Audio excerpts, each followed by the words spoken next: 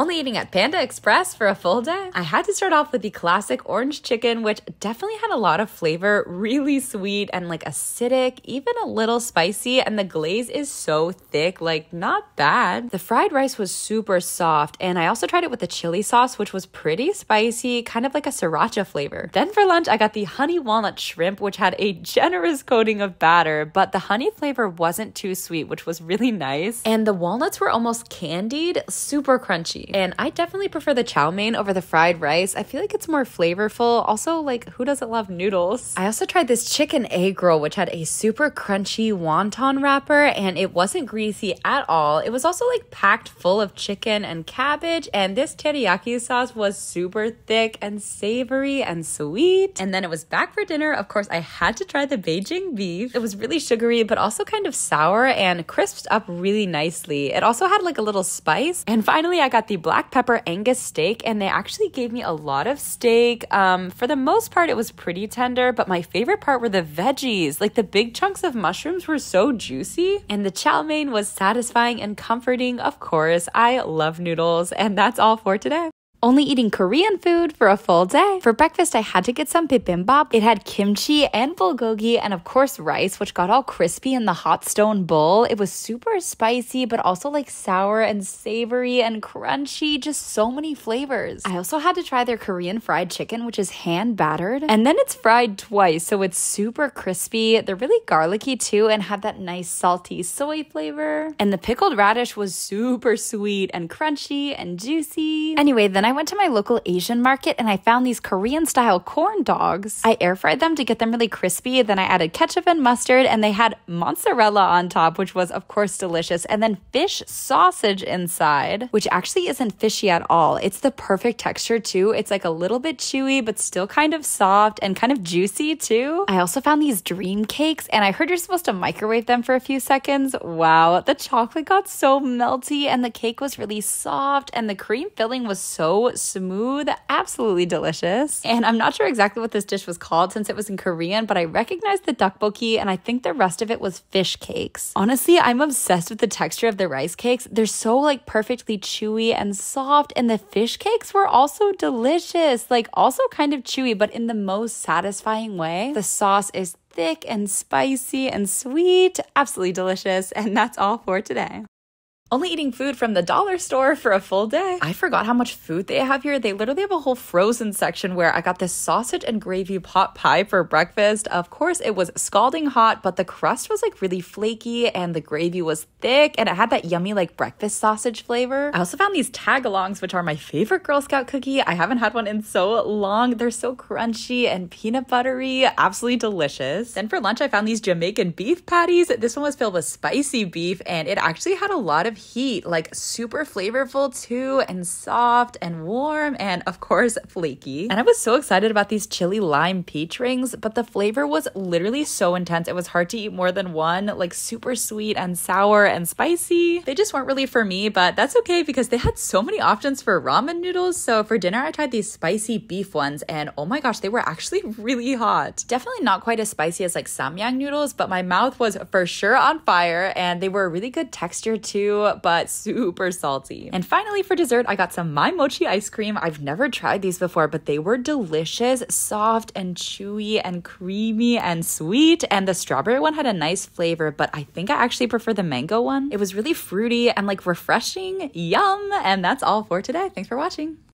only eating Pakistani food for a full day. First up, I got some pani puri, which are these crispy little balls filled with chickpeas and this water that's got like cilantro, mint, ginger, a bunch of different spices, and they're super light and crunchy. They like explode in your mouth. And of course, I had to get a mango lassi. It was thick and creamy and sweet. Literally the perfect drink. You have to try one. I also got this keema karai, which is like a minced meat tomato curry, and it's packed full of spice and flavor. It's like super rich and honestly pretty spicy, and the crunchy crunchy ginger on top added so much flavor. Also, oh my gosh, the naan was so soft. Anyway, later I had to try some chaat and it had these crispy pieces of fried dough covered in yogurt and potatoes and this sweet tamarind chutney. It's literally an explosion of flavors. It's like sweet and spicy and tangy and crunchy and soft and creamy. It's insane. And finally for dinner, I had this chapli kebab, which is made with grilled beef and then they're also fried. So they've got that like extra layer of flavor and crisp, but it's still super tender and just kind of like melts in your mouth.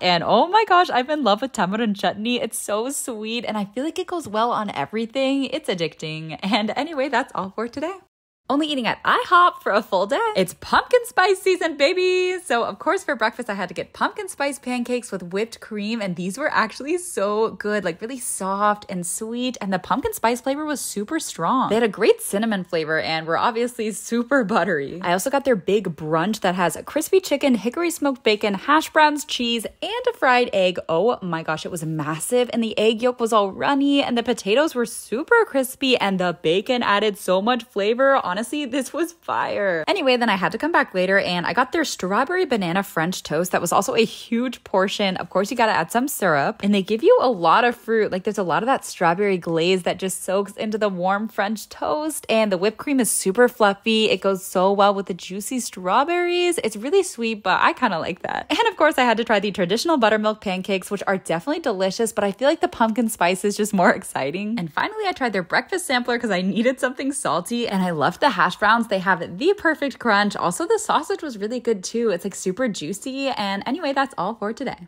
Only eating New Orleans style food for a full day? First up, I went to this Cajun Creole restaurant and I got their alligator cheesecake. I've never tried alligator before and it's kind of like a firmer chicken. It's like a mix between like pork and chicken and fish. I don't know, but it's so good. And just look at this gorgeous bowl of shrimp that came with this soft, thick French bread and then you dip it in like the buttery, peppery sauce. It's super spicy and the shrimp was so tender. Anyway, then I had to come back for dinner to try this deep fried roast beef po' boy. So the beef is seared to like like seal in the flavors and then it's slow roasted for hours and it literally melts in your mouth. And the thick savory gravy goes so well with the crispy fried bread. Oh my gosh. You can also tell that their gumbo simmers for hours because the sausage is so soft and the flavors are really rich too. And this empanada was stuffed with etouffee crawfish, which is really thick and meaty and garlicky. And their jambalaya is so sweet. It's also really savory and it's got three different types of sausages. Oh, and this is one of their most popular items. So it's panko crusted chicken chicken covered in a lemon butter sauce, which is the perfect combo of acidic and creamy. Also, they make their own hot sauce, which is super unique. It's like sour and sweet and spicy. And you already know I got some beignets for dessert. They serve them with this like warm, frothy butter, and they're just so incredibly soft and flaky. I also tried their glazed ones, which are like the fluffiest, sweetest donuts ever. Incredible with the warm butter. And anyway, that's all for today. Only eating at PF Chang's for a full day. First up, look at these gorgeous hand folded crab wontons. They were intensely crunchy, like you could tell they were fried fresh, and the crab filling was soft and cheesy. And then I got these Kung Pao Brussels sprouts, which were charred really nicely, super crispy, and I love like the added peanut flavor. And they had all these little chili pods, so of course I had to try one. It was literally packed with flavor, definitely spicy too, but not bad. Then it was time for entrees. I got this ginger chicken, which was delicious. Like you can tell the chicken's been marinating forever. It's just bursting with that soy ginger flavor, and the rice is actually really fluffy. And look at this gorgeous glossy stir fried eggplant. It soaked up all of the sweet chili glaze and was so soft, literally melted in my mouth. And I feel like the lo mein was cooked perfectly. It was a little chewy, sweet, and salty, and I'm obsessed with the warm sesame flavor. Anyway, then I checked out a different location for dinner and I got these pan fried pork dumplings that were really crispy on the bottom, but but the dough was still kind of like sticky and soft. And the chili sauce really makes me miss the chili oil in China. Like it was so thick and warm and flavorful, but this is okay too. And anyway, then for my entree, I got the Chang spicy chicken, which was super crispy and the glaze had like a little kick, but it wasn't super spicy. But one of my favorite things all day was actually the fried rice. It had so many crunchy little mung bean sprouts. Yum! And that's all for today. Only eating German food for a full day. I started off at a nearby German restaurant, and for an appetizer, I tried their cheese spätzle. So these are egg noodles that have kind of like a dumpling texture. They're chewy, but also kind of crispy on the outside. And look at this gorgeous, fresh, warm pretzel. And the mustard that it came with was so sharp and sweet and a little spicy too. I also got this veal schnitzel, which was super tender, and it came with these pan fried potatoes that had this delicious rosemary flavor. Of course, I had to try some bratwurst that were seasoned so well. They were super garlicky and flavorful and juicy. Also, the sauerkraut was really sweet, and our server said it's because they add brown sugar to the recipe, but it still had like a salty sour flavor too. And I just found out German chocolate cake didn't originate in Germany. It's actually from America, but it's still delicious. It's really light, and I love the sweet coconut frosting. I also wanted to try the apple strudel, which was warm, and the filling was really thick and like cinnamony, but I think the crust could have been a little flakier. Then I went and picked up some German chocolates. This one was filled with marzipan, which has like a rich almond flavor, and it's not too sweet at all. And this one had hazelnuts in it, and the bittersweet dark chocolate goes so well with the crunchy, nutty hazelnuts. Oh, it's so good. And these ones also had hazelnuts, but were in this like bowl of chewy, sweet caramel. These were my favorites. They were like really creamy too. And finally, I got this pork schnitzel for takeout, and it came with a bacon gravy that was so thick and savory and so, so buttery. It was just super flavorful, and the mashed potatoes are really nice and fluffy. And that's all for today. Only eating Indian snack foods for a full day. I just got so many Indian snacks from Bussin Snacks, and for breakfast, I tried this pistachio Snickers, which is inspired by a whipped Indian ice cream. And the rich, nutty pistachios go so well with the sweet, chewy caramel. I also tried this masala munch, which is a corn puff, and it's really similar to the texture of Cheetos. It's like crunchy, but way more flavorful, a little bit of heat, but also kind of sweet. And you guys, this was called a Cadbury